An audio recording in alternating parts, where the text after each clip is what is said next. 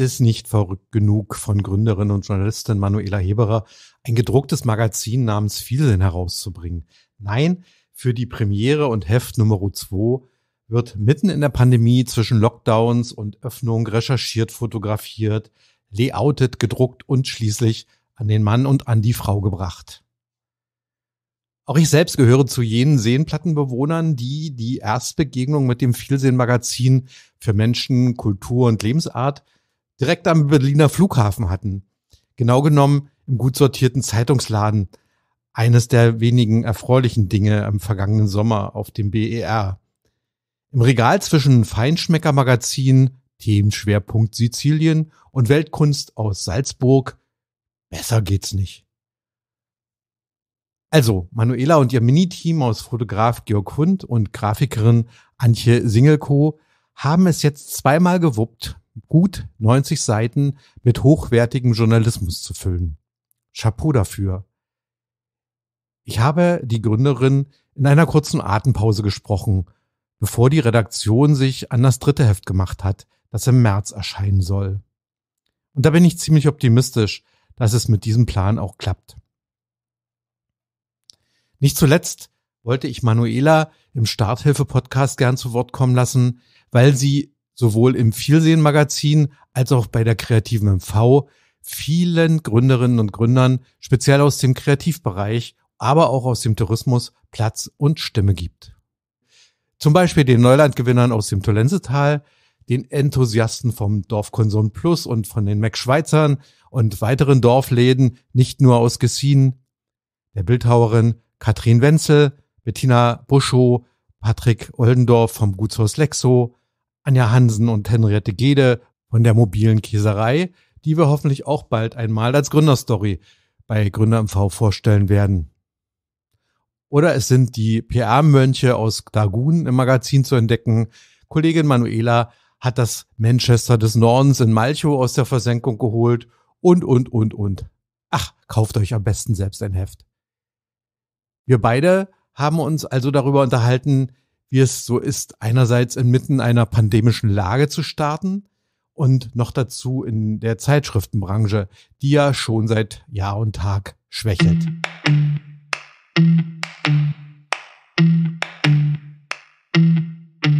Wir wollen heute über ein Medienprojekt in MV reden, das Vielsehen-Magazin. Die zweite Auf Ausgabe liegt jetzt druckfrisch gerade hier auf meinem Schreibtisch. Äh, Manuela Heber hat, hat sie mitgebracht. Sie sitzt mir heute gegenüber. Ähm, kannst du vielleicht mal kurz äh, so aus der Geschichte plaudern? Wie ist das alles eigentlich entstanden? Das ist ja schon so mm, vor Corona, lange vor Corona angefangen, ne? Ja, die Idee äh, zu so einem Magazin gibt es tatsächlich schon ähm, ziemlich lange. Die äh, schwirrt schon ziemlich lange in meinem Kopf rum. Also ich äh, würde jetzt sagen, so zehn Jahre äh, ungefähr habe ich schon die Idee gehabt, äh, wir brauchen irgendwie mal so ein Magazin für MV. Ähm, und ich hatte das ja damals online äh, angefangen äh, mit dem Projekt allesmv.de, wo ich äh, gesagt habe, wir machen mal ein Online-Magazin, aber das äh, ja, war wahrscheinlich nicht fokussiert genug, wie auch immer, ähm, und dümpelte dann so als Nebenprojekt äh, immer vor sich hin. Und dann fiel mir vor ein paar Jahren, vor zwei oder drei Jahren, äh, ein Aufruf vom Landkreis Mecklenburgische Seenplatte in die Hände, die suchten nach ähm, Ideen, äh, wie man das äh, Leben und Arbeiten auf dem Land oder im ländlichen Raum ähm, öffentlich mal ein bisschen mehr zeigen kann. Und ich dachte, ey, das ist doch eigentlich genau das, was, was ich mache. Ich äh, spüre die Leute auf, ich bin im Land unterwegs, ähm, schreibe die Geschichten und trage ja nach außen, was da passiert. Und ähm, ja, da ist so die Idee entstanden, ähm, Projekte daraus nochmal zu machen und das nochmal wirklich äh, zu fokussieren, auch thematisch noch ein bisschen mehr einzugrenzen und sich wirklich äh, nochmal Zeit und Raum für diese Magazinidee zu nehmen. Und ähm, ich hatte dann tatsächlich dort bei den ähm, Förderern, also es geht, ging darum, ein Förderprojekt äh, zu veranstalten, weil es natürlich auch immer mit immensen Kosten verbunden ist, so ein Projekt, so ein Magazinprojekt aus dem Boden zu stampfen. Äh, hinter uns steht ja kein großer Verlag, sondern äh, ich war damals freiberufliche Journalistin, ähm, habe mit äh, Kolleginnen und Kollegen zusammengearbeitet, Illustratoren, Fotograf, äh, Grafikerin in losen Projekten und äh, wir haben dann gesagt, Mensch, wollen wir es, wollen wir es jetzt nicht mal wagen? Und dann habe ich einen Projektantrag geschrieben und ja, daraus ist dann das Startup Alles MV Media hervorgegangen. Ne, so aus der Idee Alles MV.de ist sozusagen äh, dann das Startup geworden. Der Name findet sich da noch wieder. Und wir haben ähm, das Projekt, äh, konnten wir angehen, weil wir den, den Zuschlag, sage ich mal, oder die Förderung bekommen haben. Ähm, erstmal für ein Jahr, da haben wir es online angefangen. Und im zweiten Jahr dann ähm, äh, jetzt die Printausgabe Jetzt ist gerade die zweite erschienen am Freitag. Seit letzten Freitag ist sie auch im Handel erhältlich.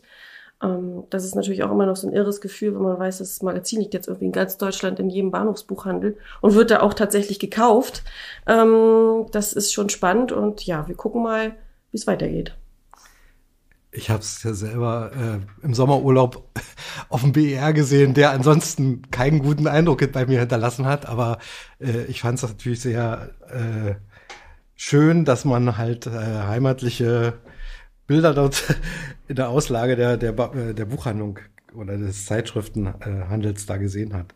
Und ich habe auch gesehen, bei, bei Facebook, glaube ich, haben dir mehrere Leute äh, so Fotos gepostet von aus, aus, aus der ganzen Bundesrepublik äh, mit dem mit dem Exemplar, mit dem ersten Exemplar im Regal, im Zeitschriftenregal. Äh, Kannst du das nochmal zeitlich einordnen? Also 2019, 20 habt, hast du angefangen oder? Also 2020 hat das Projekt im Januar gestartet. Das heißt, 2019 ist so ein Jahr gewesen, wo ich äh, gedacht habe, irgendwas muss jetzt passieren. Äh, alles MV ähm, die lief noch, war aber irgendwie keine Richtung mehr so richtig zu erkennen und ich wollte auch so für mich irgendwie eine Fokussierung haben, wo geht's jetzt damit hin? Ähm, ist es, kann ich, muss ich das Projekt jetzt als gescheitert oder so ad acta, ad acta legen? Oder geht es doch weiter? Fokussiere ich das? Und wie gesagt, dann kam dieser Aufruf und ich habe dann einfach gedacht, ich probiere das jetzt noch mal, so hopp oder top, jetzt oder nie. Ähm, und ähm, ja, habe dann 2019 tatsächlich diesen äh, Projektantrag geschrieben, musste natürlich auch viele Fürsprecher, äh, ne, LOIs und was man da alles so braucht, Stellungnahmen einholen und vielen Leuten auch davon erzählen und ähm, hatte dann tatsächlich hier im Landkreis Mecklenburgische Seenplatte ähm, Glück, dass da äh, tatsächlich auch Leute saßen, die die Idee verstanden haben. Das ist ja auch immer so, ähm, dass man erstmal, wenn man noch nichts in der Hand hat, was man zeigen kann, die Idee so rüberbringen muss, dass die sofort äh, verstehen und die Vorteile und, und äh, positiven Effekte vielleicht auch davon sehen so dass wir tatsächlich 2019 das beantragt haben und dann auch Ende 2019 die Zusage gekriegt haben, dass wir 2020 im Januar gestartet sind. Und dann ging es natürlich erstmal los. Wir hatten, wir haben ja bei Null angefangen. So ein Projekt darf man ja nicht anfangen, bevor äh, die Förderung äh, dann sozusagen genehmigt ist.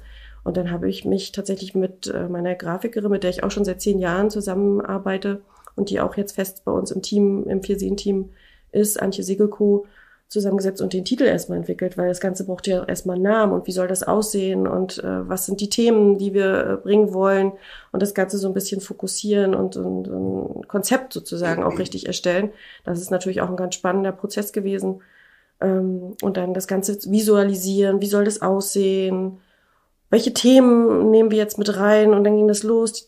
Online musste natürlich erstmal das Web, äh, die, der Webauftritt auch designt werden und erstellt werden. Und ja, also es ist, es ist ein ganz spannender Prozess gewesen. Und immer im Hinterkopf natürlich, dass wir es irgendwann in, als Printversion rausbringen mhm. wollen. Das war eigentlich von Anfang an ähm, der große Plan, weil die Idee äh, dahinter war, einfach äh, zu zeigen, was wir hier in MV haben. Mhm. Ne? Also weil mich, ich bin ja irgendwie auch nach vier Jahren wieder zurückgekommen und dann äh, habe ich dann ähm, von ganz vielen Freunden und Schul ehemaligen Schulkameraden gehört, ja, ist ja toll, dass du wieder nach Hause zurück bist und so.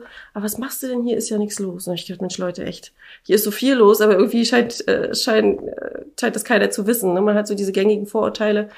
Äh, und ich wollte einfach zeigen, welche tollen Geschichten hier so schlummern.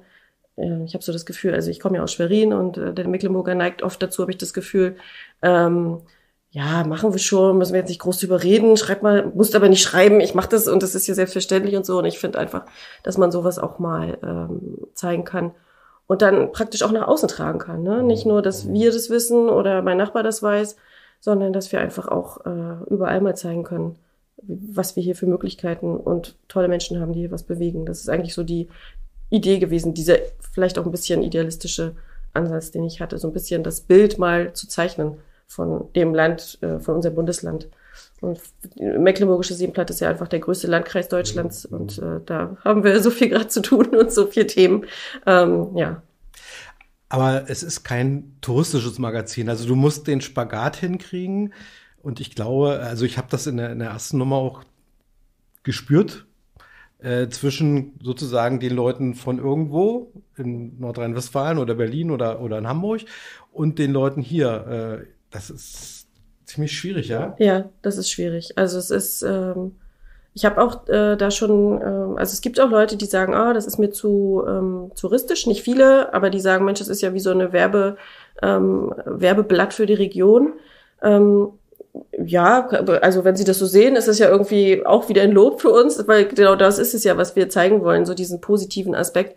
Aber es ist, ähm, es ist, also es, es soll es, das soll es nicht sein. Es soll einfach die Vielfalt abbilden, die der Landkreis zu bieten hat. Und da gehen, sind, haben wir uns die Themen Schwerpunkte Menschen, Kultur, Lebensart gesetzt. Also, also insbesondere auch die Kultur- und Kreativwirtschaft ist mir persönlich dabei sehr wichtig weil das auch ähm, Themenbereiche waren, in denen ich mich die letzten Jahre immer mehr und verstärkt auseinandergesetzt habe und einfach auch äh, denke, dass das für, für MV auch ein ganz wichtiges Thema ist und was eigentlich auch viel zu wenig ähm, abgebildet wird. Und ähm, ja, und äh, einfach das Thema auch äh, Menschen. Welche Menschen stecken dahinter? Welche Menschen sind hier und machen Dinge? Und natürlich, wir sind, wir leben nun mal in einem äh, Tourismusland und äh, Mecklenburgische Seenplatte ja fast noch mehr als äh, woanders, wo sich natürlich vieles im touristischen Bereich abspielt.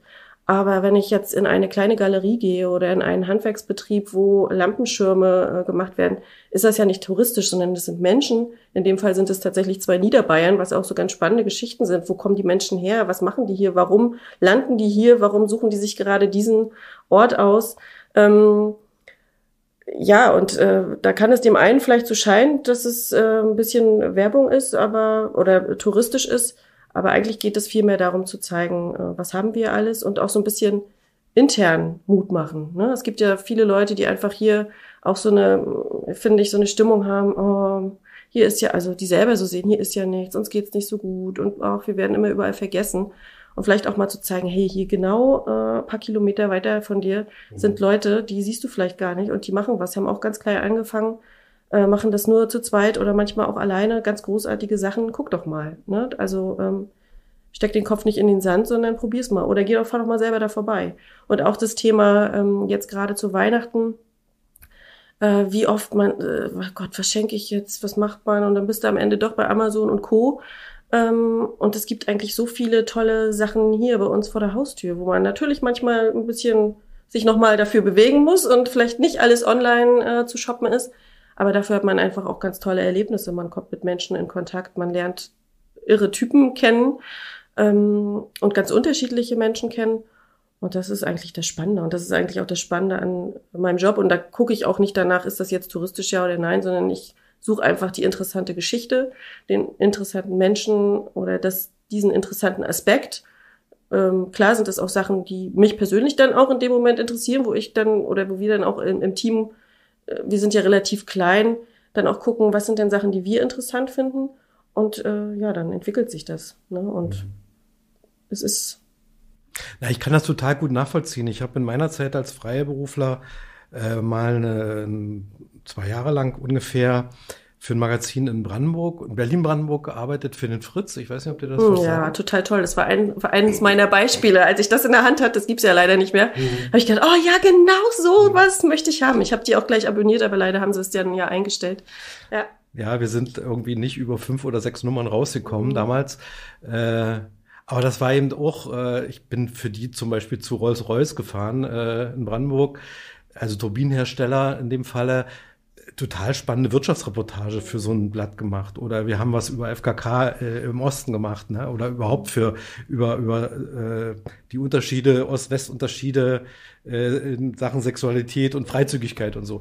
Äh, das hat total Spaß gemacht und und äh, war halt eben leider auch natürlich im Berliner Umfeld äh, schwer zu platzieren, weil der Tagesspiegel hat dann sowas ähnliches gemacht, die Matz hat sowas ähnliches gemacht. Also da war einfach richtig fette Konkurrenz von den großen Verlagen. Äh, das ist ja hier in MacPom, glaube ich, ein bisschen anders. Also eher umgekehrt. Ich weiß, der Nordkrö hat früher äh, Urlauber und, und, und Tourismusmagazine gemacht, mehrere im Jahr. Äh, da ist ja nicht mehr viel von zu, zu finden im Augenblick. Ne? Also habt ihr im Prinzip eine, eine leere Wiese bestellt oder eine, eine, frische Wiese bestellen können. Ja, ich hoffe es. und dass die Leute auf einer Wiese dann auch nur uns sehen in diesem Dschungel. Also es ist ja tatsächlich so, wir bekommen ja auch so ein bisschen Feedback von den Leuten, die unser äh, Magazin auch kaufen in Köln, Potsdam, wo auch immer. Ähm, das sind tatsächlich irgendwie Leute, die äh, auch einen Bezug zu MV haben, also die dann ganz bewusst sagen, oh, das ist ja, ich will, ich komme aus MV und äh, Mensch, bin wegen der Arbeit jetzt seit Jahren lebe ich da und da und ich will das jetzt äh, so ein bisschen die Verbindung halten. Gibt auch welche, die einfach irgendwie davon träumen, hatte ich jetzt neulich gerade, die irgendwann äh, hier sesshaft werden wollen ähm, und auf den richtigen Zeitpunkt warten und äh, da einfach schon mal so ein bisschen MV-Luft tanken. Das freut uns natürlich sehr. Ähm, gibt aber auch welche, die überhaupt gar nicht äh, großartig, ähm, also jetzt gerade aus Frankfurt äh, am, am Bahnhof habe ich eine Rückmeldung bekommen, der hatte einfach aus diesem Sortiment äh, am Bahnhofsbuchhandel, ähm, wollte der Magazin für die Zugfahrt haben. Und dann habe ich mich natürlich total super gefreut, dass der sagte, ich habe hier ein Magazin gefunden, das hat mich total angesprochen, weil das auch ein bisschen rausstach aus den anderen. Und das habe ich mir dann genommen. Und witzigerweise war das jemand, den ich aus einem anderen Kontext kannte. Und der war ganz überrascht, als er das Heft aufschlug und dann mein Gesicht sah. Und deswegen rief er mich gleich an und gab mir das Feedback. Also das ist wirklich, ähm, dass wir, weil wir auch ein bisschen anders sind, auch bewusst ein bisschen schlicht und gar nicht so ähm, prall gefüllt wie manch andere, äh, dann einfach auch hoffen, dass wir so ein bisschen uns dadurch, ja, also dass die Leute einfach äh, gucken, das muss wohl der Inhalt sein, der, mhm. der da äh, zieht. Und ja, also wir haben ja jetzt erst die zweite Ausgabe gerade in den Handel gebracht. Äh, so richtige Zahlen von der ersten gibt's noch nicht, weil ja dadurch, dass das auch über den Großhandel läuft, ja erst immer sozusagen die Remission erfolgt, wenn das nächste Heft dann kommt. Es ist für, wir sind selber total gespannt, äh, wie es jetzt, ähm, wie es ist. Natürlich kann man das nach einer Ausgabe auch nicht sagen. Man muss einfach äh, auch jetzt abwarten wie es sich entwickelt. Wir, aber wir hoffen natürlich, dass wir ähm, die Leute damit ansprechen. Ne? Mhm. Also hier äh, genauso wie anderswo. Da, also nur dann wird es ja auch funktionieren. Das ist äh, vom Fritz hast du gerade gesprochen, wenn es halt nicht läuft, dann irgendwann ähm, muss man sich dann auch die Frage stellen, aber von sowas sprechen wir noch nicht. Wir gehen jetzt erstmal von, vom Positiven aus. Ja, es waren, waren ganz, ganz eindeutig betriebswirtschaftliche Erwägungen beim Fritz damals. Weil es ist, äh, und das wirst du ja selber äh, auch äh, erlebt haben bei der ersten Ausgabe und bei der zweiten jetzt wieder, sich da in den Bahnhofsbuchhandlungen zu platzieren, das kostet erstmal richtig Geld. Das ist ja nicht so, dass ich da irgendwie 20 Exemplare hinschicke nach, zum Hauptbahnhof in Berlin und dann legen die das da aus, sondern du musst ja über, über den Pressevertrieb gehen und und, äh, die wollen erstmal Cola haben, die Bahnhofsbuchhandlung nehmen es halt eben nur in Remission, wie du mhm. gesagt hast. Also was sie nicht verkaufen, schicken sie dann irgendwann zurück. Ja, oder es geht ins Altpapier. Es ja. kommt dann im, im, schlimmsten Fall gar nicht mehr wieder bei mir an. Mhm. Ähm, was natürlich auch immense Kosten sind, ist halt, sind auch die Druckkosten. Ne? Also mhm. gerade jetzt die zweite Ausgabe in Zeiten von steigenden Papierpreisen äh, ist das jetzt alles nochmal ein bisschen mehr hochgegangen. Und wir lassen es ja auch bewusst hier bei uns im, in MV drucken. Also wir haben uns bewusst für Röbel entschieden, äh, weil wir einfach auch ein Statement setzen wollten, dass das wirklich ein Magazin ist von hier. Ich denke mal, wenn wir jetzt irgendwo anders hingegangen wären, vielleicht sogar ins Ausland, hätten wir es wesentlich günstiger haben können. Aber wir haben gesagt, nein, wir machen, wir wollen das so. Ähm, wir wollen einfach auch diese Verbindung ähm, zur Region mit in allen Facetten auch zeigen. Ne? Das ist einfach, weil das wirklich der Hauptgrund auch ist, warum wir das hier machen. Also Röbel nur für die, die es nicht kennen, ist Optimal Röbel. Ne? Genau, also, Optimal Media. Sie sind mal irgendwann als CD, CD und, und ja. äh, DVD-Hersteller haben dann irgendwann, als noch keiner geglaubt hat, dass äh, Vinyl wieder interessant werden könnte, haben die angefangen, irgendwie äh, alte dänische Vinyl-Plattenmaschinen, äh, Pressmaschinen zu kaufen und haben angefangen für DJs und Jazz und, und Liebhaber äh, Vinylplatten zu machen, sind damit total groß rausgekommen, als alle anderen die äh, Plattenproduktion eingestellt haben. Und mittlerweile haben sie auch, glaube ich, eine ziemlich hochleistungsfähige äh, und, und, und, und flexible Druckeinheit, äh, wo sie eigentlich ursprünglich CD-Cover ja. drucken wollten und mittlerweile drucken sie mehrere äh, äh, auch Magazine und und und ja, ja. Also die machen machen ganz tolle Sachen und äh, wir sind auch echt total zufrieden ähm, wie sie, also wie unser Magazin immer aus der Druckerei kommt. Ne? Also das ist eine super Beratung. Äh, das ist ja auch so, man kommt, fängt da an und weiß überhaupt nicht, wie soll denn das sein, wie ist das Papier? Und dann hatten wir das Thema Corona. Wir konnten nicht irgendwo hinfahren äh, zur, zur Druckerei oder zum Vertrieb, um uns Muster anzugucken, so wie man das sonst so machen würde, sondern das lief alles über Telefon, über per Post und wurden ein paar Sachen geschickt und dann wieder Beratung per äh, Telefon. Ähm, und als wir das erste äh, Magazin an der Hand hatten, da waren wir so happy, weil das, weil wir gesagt haben, oh, die Beratung war so super, es ist genauso, wie wir uns das vorgestellt haben. So sollte es sein. Es ist, es scheint nichts durch, es ist wirklich hochwertig und so war auch das Feedback. Viele Leute so, oh, das ist ja ein richtig professionelles Magazin. Das war natürlich so, also das, das äh, war ein schönes Gefühl. Ne? Und äh, da waren wir dann, also war dann auch wieder die Bestätigung, dass es genau die richtige Entscheidung war, das auch mit Partnern ähm, vor Ort einfach zu machen. Mhm. Hast du das alles vorher schon äh, gekannt, gekannt, gekonnt und gewusst? so mit Drucktechnik und, und, und Druckabzüge und Korrektur und weiß ich nicht was.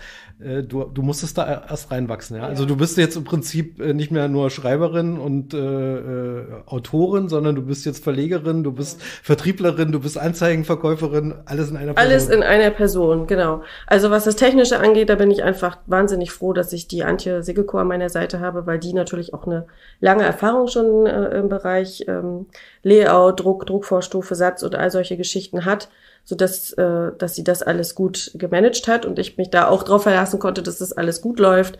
Äh, fototechnisch haben wir mit Georg Hund einfach einen ähm, super tollen Fotografen, der das auch äh, wirklich mit Leidenschaft macht. Also ähm, da war ich auch bestätigt, das war so mein Impuls, wenn, dann soll es mit denen zusammen laufen. Die waren beide auch Feuer und Flamme und ähm, das funktioniert super. Aber alles andere äh, war für, ist für mich natürlich total Neuland. Überhaupt. Das ging dann schon los mit dem den richtigen Pressevertrieb suchen. Ne? Ähm, Gott, worauf achtet man? Was ist da wichtig, was ist da nicht wichtig? Kannte ich mich gar nicht aus. Diese Ehrennummer, die da rauf muss. Hm, äh, wie geht denn das? Das sind so Marginalien eigentlich. Und dann natürlich irgendwie musst du irgendwie Anzeigen ins Heft kriegen, damit der Druck finanziert wird. Das heißt, du musst irgendwie Mediadaten haben. Wie, was kosten denn Anzeigen? Dann ging das erstmal eine Preisrecherche und was macht hier Sinn, was nicht. Und äh, ja, also es ist jetzt tatsächlich, ähm, ich bin da irgendwie ins kalte Wasser gesprungen. Natürlich hat, äh, ich bin ja nun auch schon als freie Journalistin ein paar Jährchen unterwegs und ähm, inform man informiert sich äh, ja über die Jahre auch und hat mal irgendwie Kollegen, die erzählen.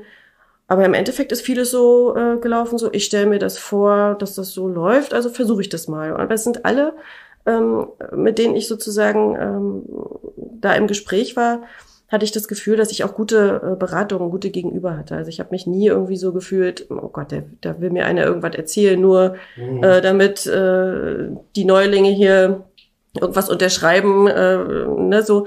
Das hatte ich nicht das Gefühl. Ich hatte eher im Gegenteil das Gefühl, dass äh, viele Presseprofis ähm, eher so ein bisschen ja, also äh, bewundert ist jetzt vielleicht das falsche Wort, aber äh, unser Pressevertriebspartner äh, als ich den das erste Mal anrief, ähm, sagte der, wollen Sie das wirklich machen?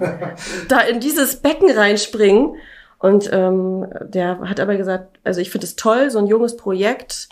Und wenn Sie das mit uns machen wollen, dann äh, gerne. Also ich hätte da Lust dran, mit Ihnen dieses Projekt zu machen. Und das war dann für uns auch wieder so eine Bestätigung, weil man denkt so, erst mal, wenn der sowas zu dir sagt, dann denkst du, ach du Schreck, was kommt denn da auf dich zu? Aber es hat mich nicht abgeschreckt. Also ich habe gesagt, wir versuchen es jetzt einfach. Wir haben jetzt äh, den Puffer durch diese EU-Förderung und das Land Mecklenburg-Vorpommern und wir machen das jetzt einfach und gucken, was bei rauskommt. Und ähm, ja, also jetzt ist natürlich wirklich, es ist ein immenser Aufwand, das muss man ganz einfach so sagen. Ein Verlag hat dafür irgendwie fünf, sechs Leute für oder mehr wahrscheinlich, ähm, ne, die Vertrieb machen, die äh, Anzeigenverkauf machen. Äh, ich schreibe ja auch die ganzen Texte, ich mache die Recherche, ich mache die Themenplanung, ich koordiniere äh, das alles mit äh, den anderen beiden Kolleginnen, ähm, dass wir da irgendwie äh, als Team auch ähm, koordiniert zusammenarbeiten und ähm, ja, es ist ähm, aufregend. Also es ist, es wird auf jeden Fall nie langweilig bei uns. Ähm, und ähm, ja, mal gucken. So, dann hattest du diesen ganzen Berg, den wir jetzt gerade besprochen haben, vor dir liegen, vor der ersten Ausgabe. Und dann kam noch Corona dazu. Mhm. Ist man da nicht irgendwo das war der Knaller. geneigt äh, zu sagen, nee, nee, ich lasse das jetzt lieber Äh, geht ja gar nicht. Also, ich meine, für so ein aufwendiges Magazin, äh, man muss ja doch, man kann das nicht alles telefonisch machen. Äh, man kann nicht alles irgendwie per Videoschalter oder so äh, recherchieren. Äh, Interviews muss man, das merken wir ja beide jetzt auch gerade, mhm. am besten, man guckt sich schon in die Augen und, und, und äh, kann sich auch die nonverbalen Dinge mitnehmen und, und, und äh, um dann ein Porträt oder eine Reportage draus zu schreiben, braucht man einfach den persönlichen Kontakt. Ganz abgesehen von den Fotos, die man sowieso immer vor Ort machen muss. Ja. äh, wie, wie, wie war das als Corona, also als der, als der erste Lockdown äh, auf einmal vor der Tür stand? Also das, ja, weiß ich auch nicht. Das war schon irgendwie krass. Also das Gute in dem Sinne war, dass es, dass der erste Lockdown tatsächlich da war, als wir noch in unserer Online-Version waren. Also es war das erste äh, Projektjahr. Und da habe ich tatsächlich äh, das, was ich sonst nie mache, ähm, einige Interviews äh, per Telefon gemacht, aber äh, zum Thema. Also wir haben es wirklich, ähm, ich habe einfach komplett auf das Thema Corona auch umgeswitcht, weil das ja für alle neu war. Und es ging darum, ähm, wie diejenigen, die Akteure, die Interviewpartner in ihren Berufen, in ihrem Alltag sozusagen die Krise für sich meistern. Ne? Ich hatte die Illustratorin Claudia Burmeister, die ja für uns auch diese tollen Karten jetzt in der Druck, ähm, in, der Druckversion macht, äh, wie sie sozusagen jetzt, äh, wie funktioniert dein Job als Freie, wenn du keine Kurse mehr machen kannst, wenn du, wenn alles wegbricht. Ich habe mit dem äh, Zauberkünstler hier, ähm, Felix, äh, Magic Felix aus Neubrandenburg, haben wir telefoniert, weil keine Shows mehr sind. Ähm, mit anderen Künstlerinnen, mit, äh, also ja, also das war eigentlich so das Thema und habe das dann online ähm, gemacht, also äh, über, über äh, Telefonanruf. Aber sobald es äh, wieder ging, sind wir auch wieder rausgefahren.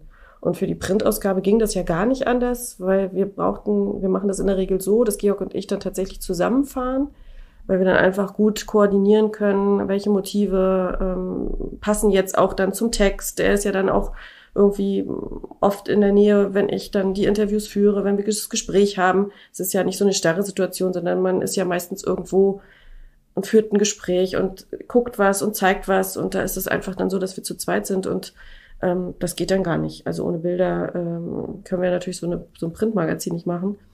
Aber was so ein bisschen die Herausforderung bei, bei Print in der ersten Ausgabe war, ist, dass wir erst im Januar damit anfangen konnten, aber wussten, wir machen eine Sommerausgabe. Mhm.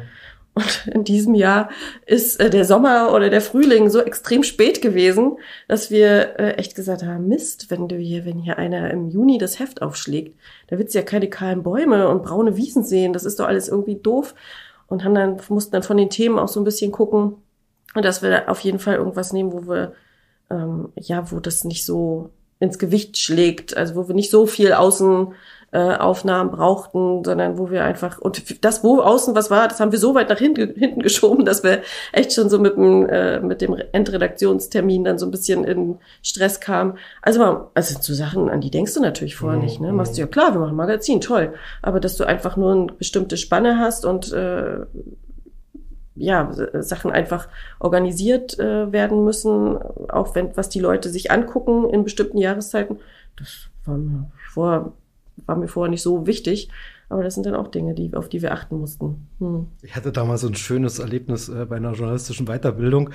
Äh, da hat uns ein früherer Chefredakteur dann erzählt, dass bei Essen und Trinken immer um die Weihnachtszeit äh, die quasi Erdbeerausgabe gemacht mhm. werden muss und die Redakteure dann irgendwie im Advent sitzen und erstmal müssen sie sehen, wie sie sich Erdbeeren organisieren äh, für die Bilder, also für die Food-Fotografie mhm. und dann müssen sie sich halt irgendwelche Rezepte ausdenken oder, oder recherchieren. Äh, das ist halt so bei den Magazinen, die haben teilweise wirklich ja ein halbes Jahr Vorlauf. Also ihr habt, ich weiß nicht, wie, wie, wie viel Vorlauf ihr mit, mit dem Druck ja, also im Druck ist schon, also das Heft muss ungefähr einen Monat, bevor mhm. es äh, in den Läden liegt, äh, fix in der Druckerei sein und dann brauchen wir noch die Endredaktion. Also so sechs bis acht Wochen mhm. vorher muss eigentlich alles im Kasten sein und dann mhm. wird es zusammengesetzt. Äh, ne? Und das ist natürlich, da machst du dann im Sommer die Ausgabe für den Winter und im Winter die Ausgabe für den Sommer. Und jetzt ist tatsächlich, also wir haben jetzt dieses Jahr zwei Ausgaben rausgegeben. Ab nächstem Jahr wollen wir versuchen, so es halt klappt, ähm, tatsächlich vier Ausgaben zu produzieren, alle für, also alle drei Monate eins. Und ähm, das heißt, dass wir jetzt vor Weihnachten dabei sind, das Frühlingsheft zu machen, was natürlich mhm. nicht gerade so einfach ist, weil im Frühling, wenn ich ähm, irgendwie Ende März, Anfang April ein Heft aufschlag, dann bin ich schon so vom Gefühl her, in der Apfelblüte und äh, alles fängt an zu grün und äh, ja, guck raus, ne? Es ist jetzt gar nichts grün.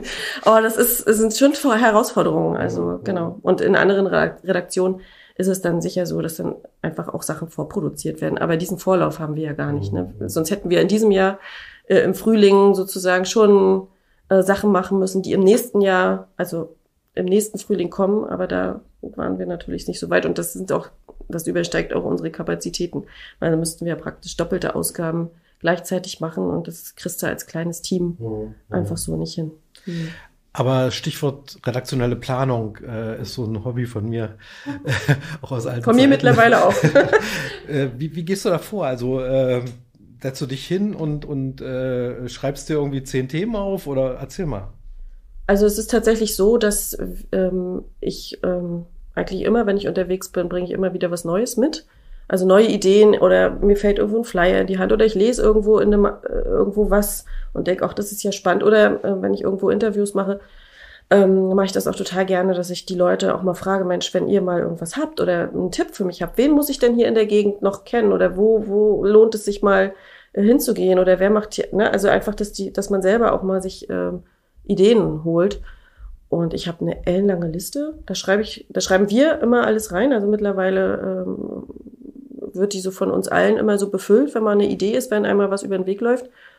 Und dann ähm, gucken wir die immer wieder durch und sagen, Mensch, das wäre doch vielleicht mal was für fürs Frühlingsheft oder das wäre auf jeden Fall mal ein Sommerthema oder das machen wir mal im nächsten Jahr Winter. Also und dann also wenn es dann soweit ist sozusagen, die eine Ausgabe ist weg, dann bist du ja schon wieder dabei, die nächste zu planen, dann wird's dann konkreter. Also dann äh, gucke ich mir das alles genauer an, dann manchmal recherchiere ich auch was dazu, wo ich denke, eigentlich wäre dieses Thema schön, also weil es nicht, nicht immer nur Akteure sind, die ich spannend finde, sondern einfach auch so Aspekte, ähm, die vielleicht gerade aktuell sind. Warum können, wollen wir nicht mal das und das Thema nehmen?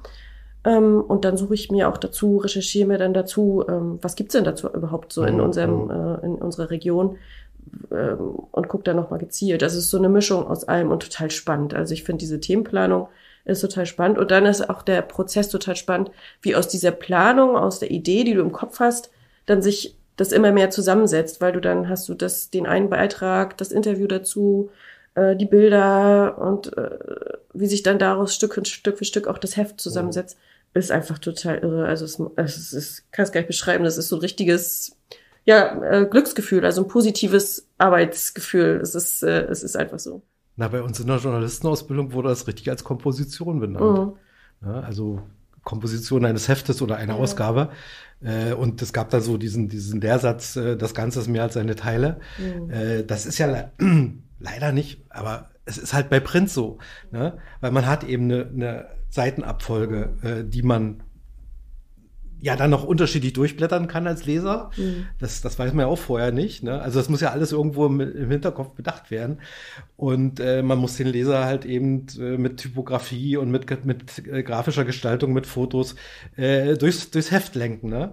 Das ist, äh, ist wirklich ein spannender Prozess auf jeden Fall. Ja, wobei wir auch immer gucken, dass wir ähm, dass wir auch die Region äh, gut und breit abbilden, ne? dass wir nicht immer nur, keine Ahnung, mal in einem Heft nur äh, irgendwie an der Müritz sind mhm. und äh, gar nicht äh, oben in der Minen oder so oder in der Mitte. Da gucken wir dann auch immer noch drauf. Wenn wir merken, oh, halt, stopp, wir sind jetzt hier, wir haben hier so viele Themen, die einfach in dem Bereich sind, ähm, nee, dann schieben wir das mal ein bisschen. Sollen auch nicht irgendwie fünf Künstlerporträts drinne sein, sondern wirklich ausgewogen ähm, gucken, wie passt es auch thematisch in unsere Rubriken rein, ne? Menschen, Kultur, Lebensart, das ist so ein bisschen unser Rahmen und da suchen wir ähm, dann wirklich gezielt, okay, das würden wir gerne machen, aber diesmal wäre es einfach too much an der Stelle, müssen wir schieben. Also es ist schon äh, ganz spannend, auf jeden Fall. Ja. Macht ihr an der Kreisgrenze vom, von der Seenplatte strikt Schluss? Mhm. Ja, also tatsächlich haben wir das jetzt so gemacht, weil wir äh, über den äh, über den Regionaltopf sozusagen ähm, jetzt gefördert waren die letzten zwei Jahre, dass wir den Fokus auf den Landkreis Mecklenburgische Seenplatte gelegt haben. Aber wie gesagt, ne, größter Landkreis Deutschlands und auch so vielfältig, denkt man ja auch gar nicht, dass äh, oben der Minen, hinten Woldeck, Neubrandenburg äh, bis rüber fast Plau am See. Also es ist ja, ist ja ein wahnsinniges Gebiet. Ähm, wir müssen mal gucken, wie wir das jetzt äh, machen. Es ist das Projekt oder das Förderprojekt läuft ja jetzt zum Ende des Jahres aus. Ähm, Da müssen wir ohnehin mal gucken, wie das dann so weitergeht. Ähm, äh, Plan war von Anfang an ja, äh, äh, dass wir das, also dass es langfristig sein soll, dass es nicht Förderprojekt und danach ist wieder gut, sondern ähm, wir wollten das natürlich irgendwie so als Initiale nutzen und müssen jetzt einfach mal gucken, wie wir das Ganze jetzt äh, weiterentwickeln, wie das fortgeht. Aber fest steht, dass äh, gerade jetzt dieses, dieses Zentrum von Mecklenburg-Vorpommern, dieser riesen Landkreis Mecklenburgische Seenplatte, einfach weiter ein Schwerpunkt sein wird, auch weil unsere Themenliste noch so lang ist und wir so viele Ideen noch haben, was man hier machen kann, ähm, dass wir äh, gucken, ähm, aber vielleicht die Landkreisgrenzen nicht mehr ganz so stark ziehen. Also es gibt auch tatsächlich ähm, gar nicht, also eigentlich soll es ja ein MV-Magazin sein, aber wir haben ja auch rund der äh, Grenze zu Brandenburg, mhm. äh, das kann man ja manchmal gar nicht so gibt es auch ganz interessante Projekte, wo man sagt, ja, Gott, willst du jetzt einfach, weil es nicht mehr MV ist, sagen, machen wir nicht mehr. Also da müssen wir mal gucken, wie das so im, im nächsten Jahr auch naja, es gibt ja auch äh, Territorien wie die Prignitz zum Beispiel, genau. die sich über beide Länder äh, Der Uckermark. Uckermark genau dasselbe, ne? Bis hin dann äh, in, in Vorpommern, äh, wo ja ganz vieles auch, ich sag mal, nach nach Polen rüberreicht. Mhm. Ne, wenn man das jetzt, äh, Pomerania-Region, mhm. äh, ist ja letztendlich mehr als, als nur an der Grenze Mecklenburg ist dann irgendwie Schluss. Ja. Ne? Also ich, ich das finde ich sowieso wichtig, gerade jetzt auch im journalistischen Bereich, dass man da äh, sich nicht, nicht unbedingt 100 Prozent an die äh, administrativen Grenz ja, ja. Äh. Das haben wir bei Fritz übrigens auch so gemacht. Ne? Also meine FKK-Geschichte, die, die kam aus der Seenplatte übrigens, ah, okay. weil äh, es gab damals, ich weiß nicht, wie es mittlerweile ist, äh, in MacPom, glaube ich, zwei oder drei FKK-Campingplätze. Äh, mhm. äh, und das war schon ziemlich einzigartig. Da, die gab es halt in Brandenburg nicht. Ne? Mhm. Und, und woanders überhaupt auch gar nicht. Ne? Mhm. Äh, also da, da muss man, glaube ich, äh, einfach auch die Metropolregion noch ein bisschen im, ja. im, Auge haben und so, weil man hat ja da auch potenzielles Leserschaft mhm. in, in, jedem Falle. Mhm. Äh, kannst du noch ein bisschen was, äh, sag mal so die technischen Eckdaten verraten, äh, also Auflage und Preis und, und Seitenzahl oder so in diese Richtung? Ja, also wir haben eine Auflage von 5000 Heften pro, also pro Ausgabe. Ähm, die Hälfte davon ungefähr geht immer so in den Großhandel, also Zeitschriftenhandel, Bahnhöfe deutschlandweit, ähm, in Hamburg, also Metropolregion Hamburg, äh, Berlin, äh, Brandenburg und MV ist es dann wirklich auch engmaschiger im Zeitschriftenhandel. Da sind wir noch so ein bisschen in der Optimierungsphase, weil ähm, für unsere Begriffe so ein bisschen auch dieser Bereich gerade hier äh, in der Mecklenburgischen Seenplatte doch sehr ähm, ja sehr dünn äh, ähm, bestückt ist. Ne? Also so äh, in Waren hast du dann ein paar mehr Kioske und in Neubrandenburg, aber alles, was so dazwischen ist, und das ist ja relativ viel, da fehlt das Heft einfach. Und das, äh, da versuchen wir natürlich entgegenzuwirken, weil es auch in, keine Ahnung, Staffenhagen, äh, Woldeck und Friedland vielleicht Leute gibt, die gerne äh, sowas lesen wollen würden. Ähm, und ähm, genau, das verbreiten wir so. Ähm, wir haben, das Heft kostet äh, am Kiosk 8,50 Euro. Hm, das war auch so ein bisschen so eine Diskussion, auch im Team. Wie machen wir das? Äh, ist das zu teuer? Ähm, muss das viel günstiger sein? Aber es ist einfach auch so eine Frage, so ein Heft zu machen, ist auch irre teuer. Ne? Das muss man einfach auch so sagen. Ähm, und wir wollten damit auch so ein bisschen äh, zeigen, dass es auch wirklich was Hochwertiges ist, wo wir viel Arbeit reinstecken, wo wir viel bewusste Planung reinstecken, nix aus der irgendwo aus der, keine Ahnung, Retorte, sondern wirklich äh, dafür losgehen und das machen in der Region produzieren lassen und gucken, dass wir, wir haben auch Kompensationsmaßnahmen, dass wir hier äh, Bauminsel, äh, weil wir es halt gedruckt anbieten. Also wir gucken schon wirklich, ähm, dass wir da, dass es irgendwie äh, auch was Hochwertiges ist und ähm, das soll sich auch sozusagen in dem Preis widerspiegeln.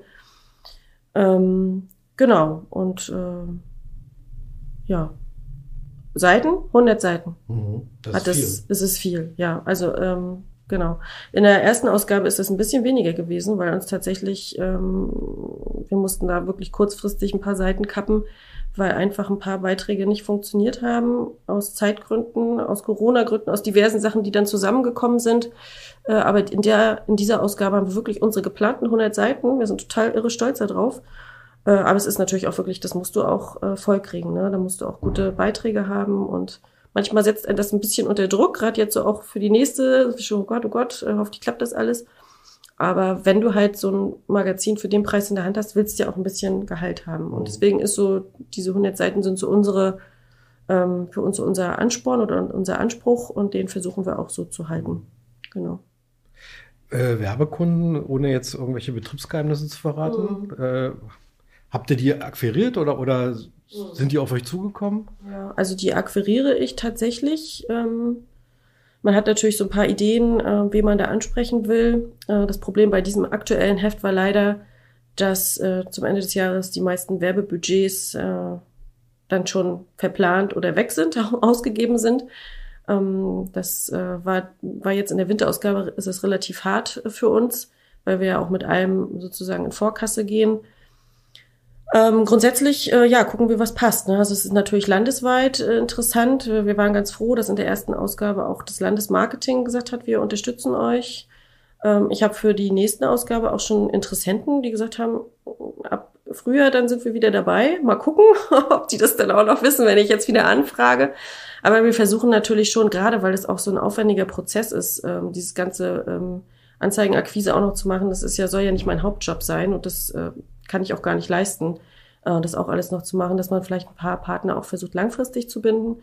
Wir haben natürlich über unser Vielsehen-Schaufenster auch ein paar Partner, die auch kleinere Anzeigen dort auch buchen, äh, was ganz schön ist. Und zwar dann manchmal gar nicht äh, unbedingt in erster Linie, weil sie sagen, ähm, ja, da kommt jetzt im ersten Heft irgendwie so wahnsinnig viel für mich rum, sondern einfach, weil, äh, weil sie sagen, ich finde das Projekt einfach toll und ich unterstütze das äh, und äh, damit habt ihr ein paar hundert Euro äh, für die Druckekasse, ne? Weil also das ist so ein bisschen unsere Idee, äh, zu gucken, dass wir die Druckkosten, äh, wenn es gut läuft, durch Anzeigen, äh, also Anzeigenschaltungen äh, kompensieren.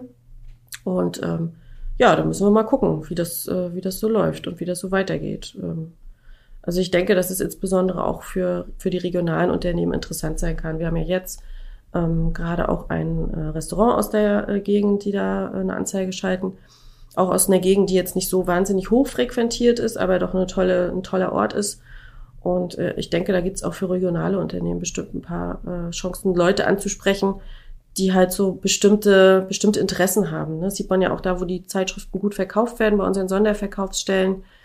Mm, das sind halt einfach auch so Individual, äh, Individualisten, die gerne so das Besondere suchen, äh, wenn man so auf die äh, guckt, welche Touristen das vielleicht auch kaufen ähm, kreativ schaffende Leute, die hier das Besondere, die hier leben äh, und so ein bisschen paar ja, äh, Geheimtipps will ich jetzt nicht sagen, aber schon mal so ein bisschen das andere suchen, die anderen äh, Möglichkeiten. Und da, äh, glaube ich, kann man auch als Anzeigenkunde dann so ein bisschen sich ähm, in dem Magazin, in dem Rahmen präsentieren. Ne? Naja, und das ist ja auch im Gegensatz zu einer Tagespublikation, äh, man, man hält das ja über ein halbes Jahr Immer mhm. wieder nimmt man es wieder zur Hand und, mhm. und blättert mal durch oder liest mal wieder irgendwie ein Stückchen oder sucht einen Tipp fürs Wochenende oder oder oder. Also da gibt es ja viele Möglichkeiten. Das ist einfach ähm, jetzt böse Wort nachhaltig ja. nachhaltiger als eine Tageszeit. Auf jeden Fall. So sagen, ne? Ja, ja. Das haben uns auch, also wir haben ja eine Umfrage auch gemacht, was die Leute mit ihrem Vielsehen-Magazin denn machen ob es ins Altpapier wandert oder was auch immer. Nee, also ins Bücherregal bei vielen. Also es, mhm. es wird nicht weggeschmissen, sondern wirklich äh, hole ich mir noch mal raus wieder so ähm, oder weitergegeben. Ne? Also ähm, ich gebe es äh, in meinem Haushalt lesen sowieso mehrere oder ich gebe es an eine Freundin.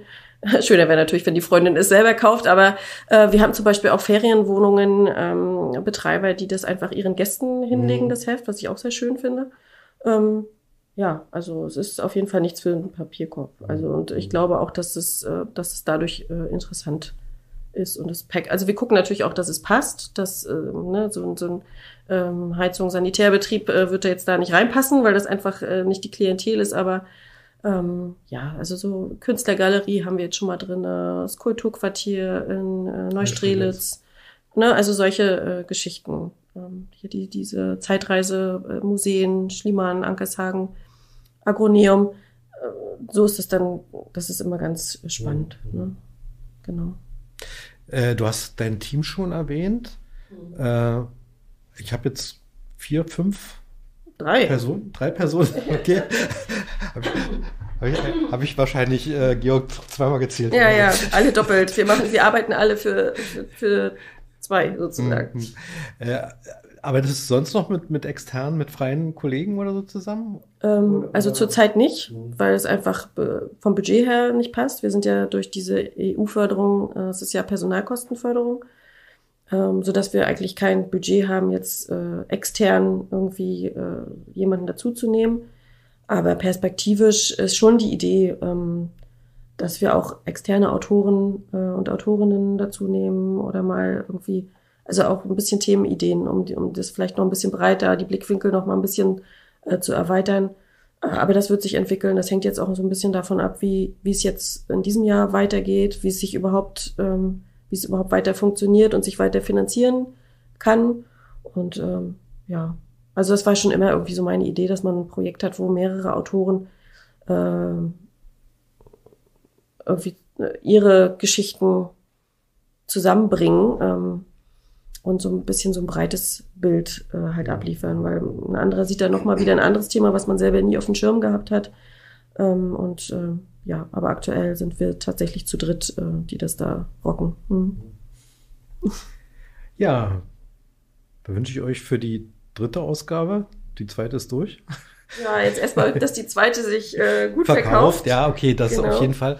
Und für die dritte Ausgabe dann natürlich, äh, für die Frühjahrsausgabe äh, ganz, ganz viel äh, schöne Themen. Aber ich glaube, es, wie du es vorhin schon gesagt hast, daran mangelt es einfach nicht.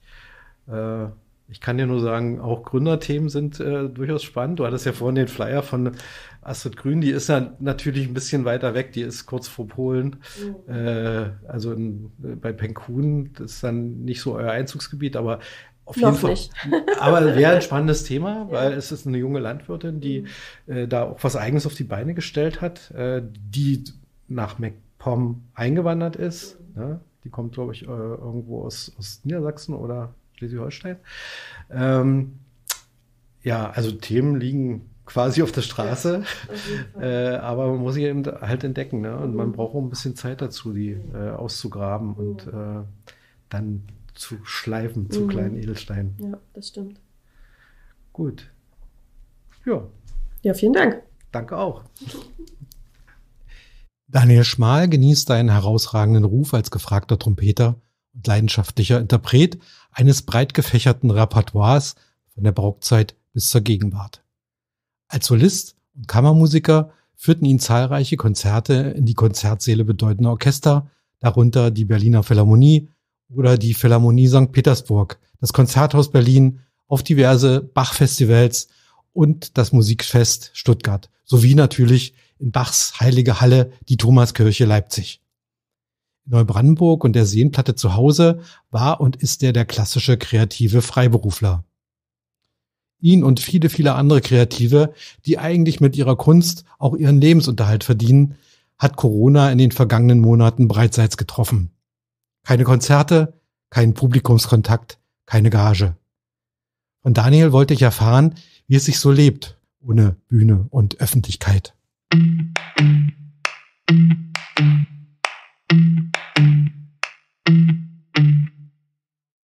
13. März 2020, glaube ich, war es ja, als wir sozusagen in den ersten Lockdown gegangen sind, reingegangen sind, habe ich ähm, ein, zwei, drei Tage überlegt, was kannst du jetzt mit der plötzlich überraschend frei gewordenen Zeit tun? Und ich habe die ersten Monate dazu verwendet, ähm, endlich mal mich mit dem künstlerisch zu beschäftigen, wozu ich vorher keine Zeit hatte, weil eben wenn du voll im Konzertbetrieb eingebunden bist, dann musst du ja immer wieder ein Konzertprogramm nach dem anderen abliefern, aber hast eigentlich nicht wirklich Zeit, dich mit neuen Sachen zu beschäftigen, ohne zu wissen, ob du sie dann später einmal in einem neuen Konzertprogramm unterbringst oder nicht. Und das habe ich getan. Ich habe im Prinzip alle meine großen Wünsche ähm, abgearbeitet und äh, wahnsinnig viele neue äh, Stücke und Werke für mich erkundet und kennengelernt und einstudiert. Das war also eine sehr, sehr schöne Zeit. Ich hab, äh, bin mehr zum instrumentalen Üben und Arbeiten gekommen als sogar zu Studienzeiten und zwar quasi wie der Himmel auf Erden rein zeitlich gesehen und künstlerisch gesehen. Und ähm, ja, finanziell ist es natürlich ein Desaster gewesen und ähm, ich hatte dann das große Glück ähm, im Oktober 2020 ähm, mich beruflich etwas anders umorientieren zu können, indem ich das äh, Bewerbungsverfahren um die stellvertretende Musikschulleitung an der Kreismusikschule Consentus gewonnen hatte und dann eben äh, seitdem stellvertretender Musikschulleiter bin, was eine unglaublich spannende und äh, sehr erfrischende Arbeit auch für mich ist. Aber als Künstler war es natürlich finanziell schon sehr, sehr kritisch. Und ähm, für die Künstler, die eben zu 100 Prozent freiberuflich waren, die haben ein wenig Fördermittel bekommen und äh, ja, was auch sehr, sehr gut und wichtig ist. Ähm, Schwierig ist genau diese Hybrid-Lebenseinstellung, äh, äh, wo man also eine kleine Anstellung zum Beispiel fest an einer kleinen Musikschule hat und den Hauptteil seines Lebensunterhaltes mit äh, seiner Kunst verdient. Und dann bricht plötzlich dieser Hauptlebensunterhalt Kunst weg. Genau, das passiert ja vielen, egal ob Orchestermusiker oder Liedermacher. Also genau diese hybriden Lebenseinstellungen und äh, Lebenskonzepte, die sind schwierig, weil wenn du eine kleine Festanstellung hast an einer Musikschule und ähm, fällst automatisch aus jedem Förderprogramm heraus. Das heißt, für diese, genau für diese Leute greifen sämtliche Förderprogramme nicht. Und das ist, wie man so schön schrecklich sagt, zum Leben zu wenig, zum Sterben zu viel. Mhm. Ähm, und ja, für die ist es besonders schwer gewesen und auch immer noch. Also da es für mich nichts Schöneres auf dieser Welt gibt, als neue Musik für mich kennenzulernen und zu erforschen. Also ich habe schon immer auch als kleines Kind äh, immer einen großen Forscher dran gehabt, neue Stücke zu spielen und äh, zu gucken, was gibt es denn da noch alles so. Also ich glaube, das ist in einem angelegt oder auch nicht. Also für mich war das wirklich, wie gesagt, ein Geschenk des Himmels, dass ich plötzlich sehr, sehr viel Zeit hatte und endlich das alles in Ruhe ähm, studieren konnte und üben konnte und ausprobieren konnte und auch neue Spieltechniken ausprobieren konnte. Ähm, ja, weil ich das, äh, weil ich Musizieren für mich wie, wie ein kleiner Junge, wie ein Spiel für mich ansehe. Das, mein liebstes Spielzeug ist die Musik. Aber es macht eben nicht satt. Es macht eben nicht satt, genau so ist es. Vom Spielen alleine wird man nicht satt und kann man seine Wohnung nicht bezahlen. Genau. Deswegen muss man, mussten man, mussten sich viele eben auch umorientieren, was tun sie, damit sie eben ihren Lebensunterhalt finanzieren können. Und ähm, ja, das ist natürlich äh, sehr, sehr schwierig. Was meinst du, wird es äh, zur Folge haben, dass es äh, in Zukunft manche Bands oder manche Gruppen oder manche, manche Ensemble äh, verschwinden werden? Ja, also da, das ist zu befürchten, dass es einige nicht überleben werden, einige Bands und Ensembles, ähm, denen das Wasser bis weit über den Kopf schon steht jetzt. Ähm, das muss man leider Gottes annehmen, dass es so sein, dass es so kommen wird. Und ich weiß auch schon von einigen Ensembles und äh, auch Bands, die eben schon jetzt aufgegeben haben und gesagt haben, ja, wir haben es eben nicht mehr durchgehalten. Mhm. Und wie ist dein eigener Blick in die weitere entfernte Zukunft oder auch in die nähere? Sagen wir, den Sommer dieses Jahres? Planst du schon die nächste Tournee? Also ich bin ganz fleißig am Plan und äh, der Tourplan für 2022 ist auch schon fertig gebaut und ich blicke sehr hoffnungsvoll äh, Richtung April. Da wollen wir es äh, probieren mit einem großen äh, lokalen Veranstalter aus Rostock zusammen, zwei Konzerte in Rostock und auch in Neubrandenburg in der Konzertkirche zu machen mit ähm, dem Programm Ave Maria. Das ist dann ein Konzertprogramm für Countertenor, Trompete und Orgel. Und ja, ich bin sehr freudig äh, gespannt, ob wir diese Konzerte dann auch wirklich durchführen und spielen können. Der Plan ist gebaut. Jetzt äh, müssen wir uns überraschen lassen, was wir dann, dann letztendlich davon auch wieder spielen können. Mhm. Ja.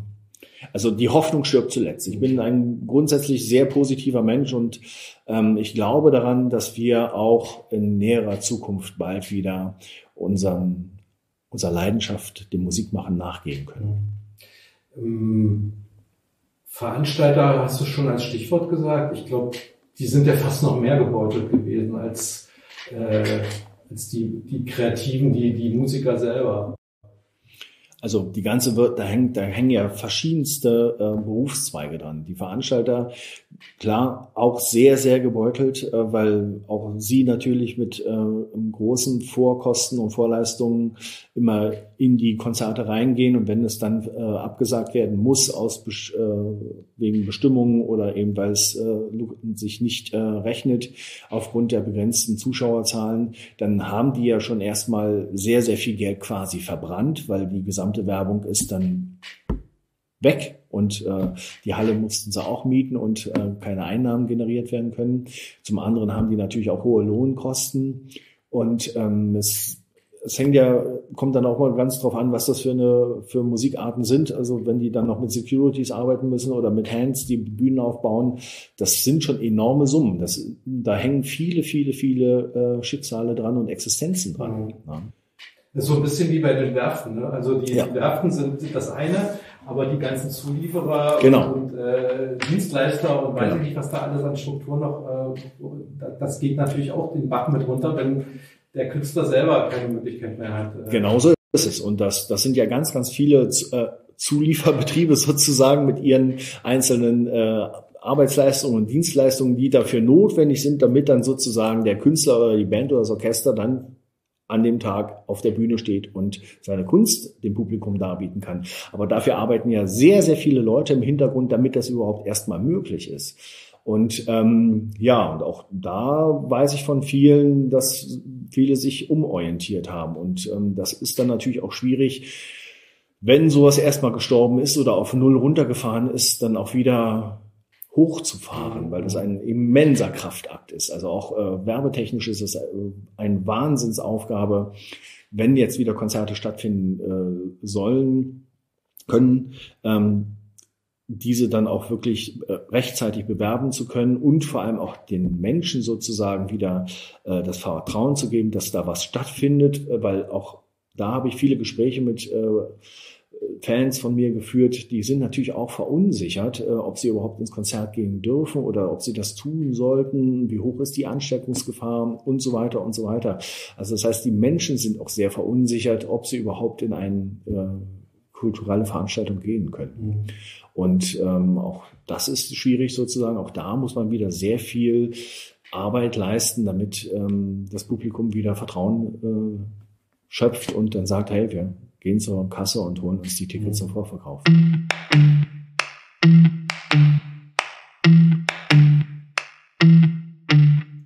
Vielen Dank, Daniel Schmal, für diese offenen Worte. Ihr hörtet gerade die neue Episode zum Vielsehen-Magazin des Starthilfe-Podcasts von Gründer MV. Wir wollten euch heute mit Manuela Heberer bekannt machen. Gründer MV wird mit Mitteln des Ministeriums für Wirtschaft, Arbeit und Gesundheit Mecklenburg-Vorpommern und der Europäischen Union unterstützt. Das Gespräch mit Manuela Heberer führte Ralf Schipke. Den Musiker Daniel Schmal fragte ebenfalls Ralf Schipke, wie er als Kreativer mit der Pandemie umgegangen ist und wie er die Zukunft für sich selbst sieht. Unsere Intro-Musik wurde von Audiofisch Thomas Kalweit aus Rostock zur Verfügung gestellt. Die Fotos für die Shownotes lieferte uns dankenswerterweise Georg Hund aus Wismar. Abonnieren könnt ihr diese und alle weiteren Folgen unseres gesamten Starthilfe-Podcasts gerne und am besten direkt auf unserem Portal www.gründer-mv.de oder bei den anderen bekannten und möglicherweise von euch bevorzugten Podcast-Diensten wie Spotify, Deezer, Amazon, Google Podcast oder Apple Podcast. Eine Bewertung oder Kommentierung dort würde uns nicht nur sehr freuen, sondern unsere Arbeit auch sehr unterstützen. Wir sind stets daran interessiert, von euch direkt zu erfahren, welche Themen zur Starthilfe beim Gründen euch aktuell bewegen. Und solltet ihr noch mehr Fragen an einen unserer Gesprächspartner oder Gesprächspartnerinnen haben, dann schreibt uns bitte unbedingt über die sozialen Medien oder als Kommentar zu dieser oder den anderen Folgen, was euch so bewegt und umtreibt.